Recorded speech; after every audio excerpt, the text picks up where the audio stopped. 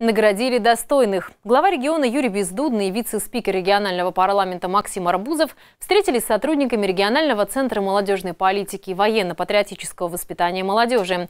Они ознакомились с работой центра и наградили достойных.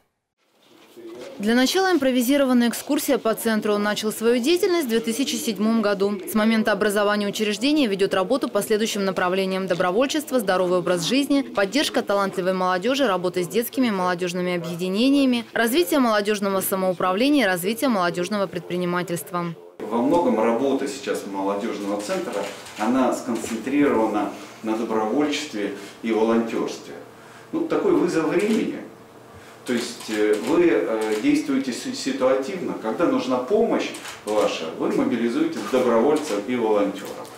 Губернатор интересуется, как часто и охотно жители региона включаются в различные добровольческие акции. С сентября, ну, со второй волны их стало больше, то есть э, там не только студенты, а и уже работающие люди с различных организаций, там, департаментов начали подключаться к а, заявкам нашим, отработке заявок.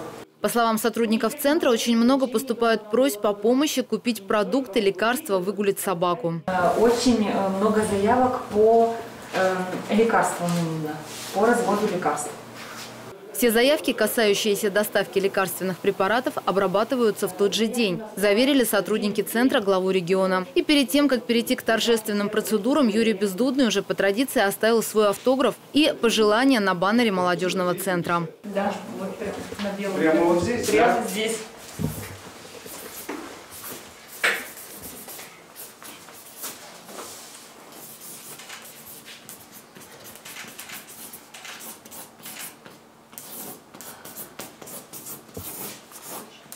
А далее в актовом зале в связи с 13-летием молодежного центра глава региона Юрий Бездудный и вице-председатель собрания депутатов Максим Арбузов поздравили сотрудников и вручили заслуженные благодарственные письма. Спасибо вам большое за это.